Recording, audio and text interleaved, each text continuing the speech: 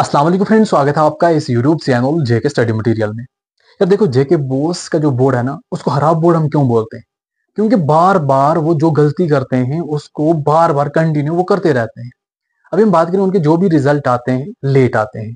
अभी स्टूडेंट्स ने रेगुलेशन के लिए अप्लाई किया है। अगर हम बात करें टेंथ और ट्वेल्थ क्लास के स्टूडेंट्स की, अभी उनको प्राइवेट एग्ज़ाम आने वाले हैं। स्टूडेंट्स बोल रहे हैं, यार, अगर हम अभी रिज़ल्ट आ जाए, पता चले पास हैं तो आगे का कुछ करें। हम क्यों इसी का यहाँ पर करते रहें कुछ ना कुछ? एंड जो ट्वेल्थ क्लास के स्टूडेंट्स है, वो बोल रहे यार, अगर हम पास हो गए, अभी ऑलरेडी एडमिशन प्रोसेस चल रहा है। बहुत सी जगह पे एडमिशन क्लोज हो चुकी है। जेके बोपी की काउंसलिंग अटेंड करते। हैं हम ट्वेल्थ में अभी पास ही नहीं दिखा रहे हैं। या अगर हम बाकी किसी क्लास में एडमिशन लें सीयूटी नॉन सीयूटी वहाँ तो एडमिशन फॉर्मेलिटीज का फ़र्स्ट साइकिल जो है, वो कंप्लीट हो रहा है। फ़र्स्ट सेशन कंप्लीट हो रहा है। जो जो टॉप कॉलेज थी, वो स्टूडेंट्स को मिल गई है। अब अगर एडमिशन हो भी जाती है किसी स्टूडेंट की, यार, वैसी कॉलेज या वैसा सब्जेक्ट नहीं मिलेगा जिसमें वो इंटरेस्टेड है, और कितना डिले करेंगे?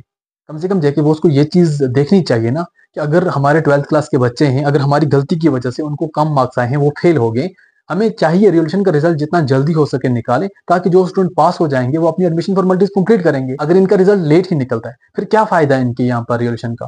फिर क्या फ़ायदा ये तो वेस्ट हो जाएगा। इसलिए हमारी रिक्वेस्ट है जेके बोस से, जैसा मैंने बात भी हुई थी जेके बोस ऑफिशियल से, उन्होंने ये चीज़ बोली कि हमारे रिज़ल्ट ऑलमोस्ट फाइनल हैं क्लियर हैं तो किसी टाइम भी रिज़ल्ट डिक्लेयर हो जाएगा। बट यार कब होगा? क्या वो 2025 आएगा, तब जाके रिज़ल्ट डिक्लेयर करोगे। अब मेरी दोबारा से रिक्वेस्ट है जेके बोस के ऑफिशियल से कि जितना जल्दी हो सके रिवोल्यूशन के रिज़ल्ट डिक्लेयर करो एंड पता चल जाए स्टूडेंट्स को क्या सीन है, क्या मसला है, कौन पास होता है, किसको दोबारा से बैक लगा है, ताकि वो उसी हिसाब से अपना आगे का गोल जो है उसको अचीव करे।